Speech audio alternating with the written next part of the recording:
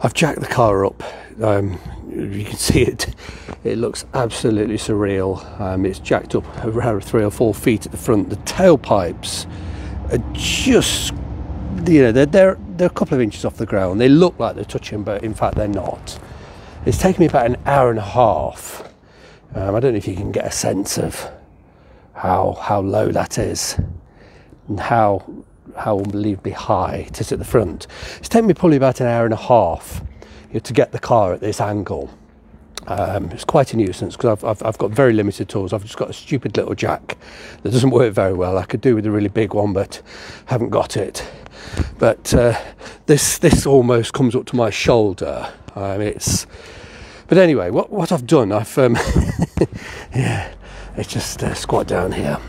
Um, as you can see, I've used um, wooden pallets and jacks and stands. What I need to be able to do is um, I've got this is the um, the coil spring press, and on on the XJ6 on the fronts it goes through. There's a there's a hole in the bottom of that pan, and there's a there's a hot you, you, I can't get the camera in, but you, it's got a nut on the top, so you undo the nut. Anyway, you have to get the car unbelievably high. Let me just try and uh, pop a glove on. I don't want to rip up my hands. I need to put on a safety glove. Um, you have to get it so unbelievably high because look at look at the length of the, yeah, the the the compressor's about three foot long. Now then, that goes through the hole here, but this is not going to work. I'm afraid. I've got the car high enough, just about high enough to get the um, get the press in I can't turn the handle because the, the pallet's are in the way. You know, it's it's an absolute nuisance. It's taken me about an hour and a half to get the car this high. What am I going to have to do is take it down and slice the pallets. The, the, pallets are simply too wide. Um, so long as it's suspended really, really sort of well on the front cross member, um, and, and, and it should be stable enough.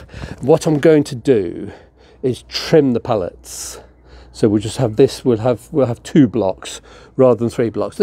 Um, you know, have to move the pallets further in and suspend it that way. Um, you know, it'll be you know it'll be fine on two blocks so long as there's enough you know enough you know enough. What are these called? You know, just baseboards. But oh, I'm so disappointed. I've I've actually got the thing high enough, um, but as you can see the the um, the handle on the uh, you know on the uh, what it's called, the press, is just going to bash into the side of the pallets. I've done this once before um, on a Series 1, a 4.2 Series 1, that was a manual, it was a lovely car. Um, I actually broke the, fr- the front coil springs, they just fractured.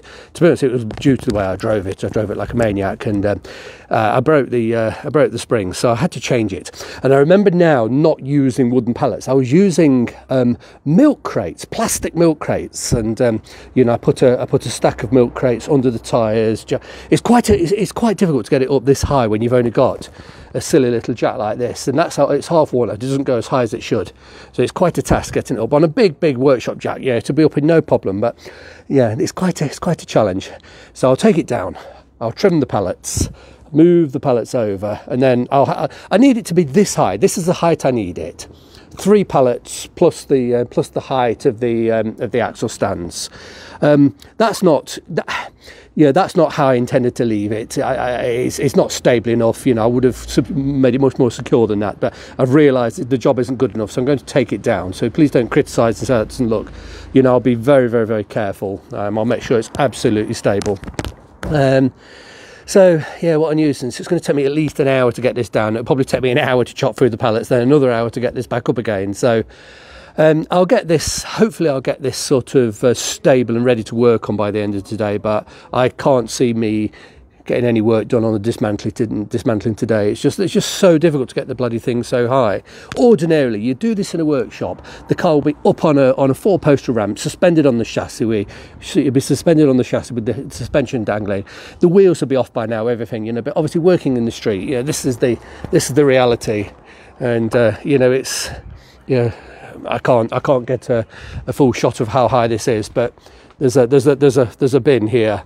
Gives you a let's move the bin over. The bin, you know how big these. You know it's uh, it's massively higher than the bin. Um, it's just high, you, you, but it's necessary. That's the height you need to sort of, um, you know, to get that massive, uh, to get that massive long press in. You know, you really do need the height.